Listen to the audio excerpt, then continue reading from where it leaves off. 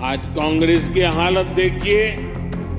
कांग्रेस के पुराने नेता एक एक करके इनको छोड़कर जा रहे हैं, जिन्होंने कभी इनके साथ आने का इरादा किया था, वो भी इनसे भाग रहे हैं।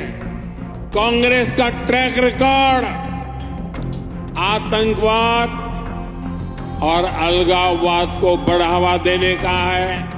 एक परिवार के मोह में फंसी कांग्रेस। हरियाणा भी वही हाल है।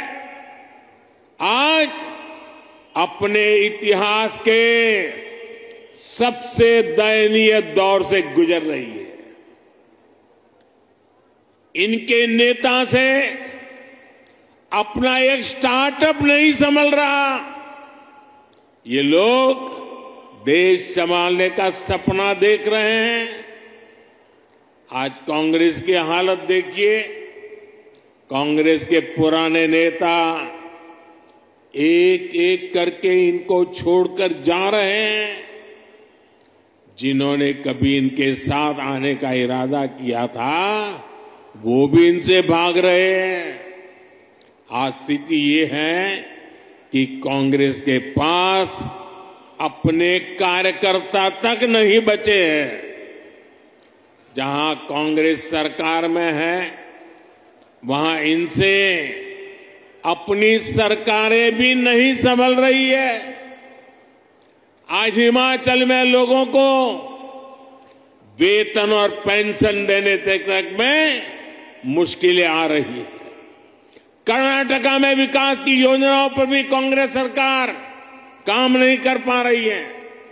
भाई और बहनों कांग्रेस का ट्रैक रिकॉर्ड क्या है? कांग्रेस का ट्रैक रिकॉर्ड। देश की आधे से अधिक आबादी को दशकों तक छोटी छोटी जरूरतों से दूर रखना का है।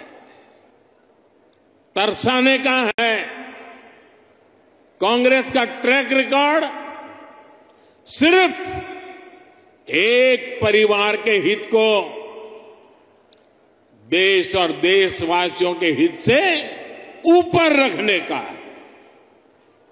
कांग्रेस का ट्रैक रिकॉर्ड इतिहास के सबसे बड़े घोटालों का है। कांग्रेस का ट्रैक रिकॉर्ड आतंकवाद और अलगाववाद को बढ़ावा देने का है।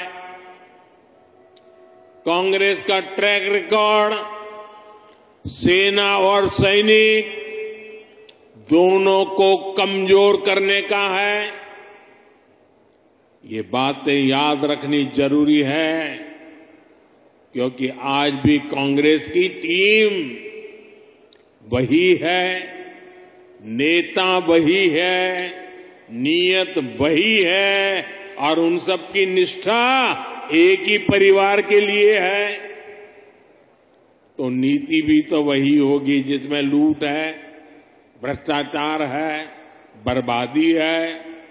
साथियों, कांग्रेस सोचती है कि सत्ता में रहना उसका जन्मसिद्ध अधिकार है।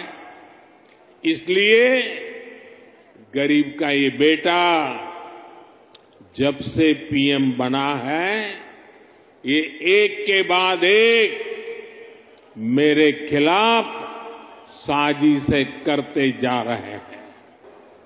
लोगों ने एक और संकल्प लिया है और जनता जनार्दन कह रही है, आप लोग कह रहे हैं, जिसने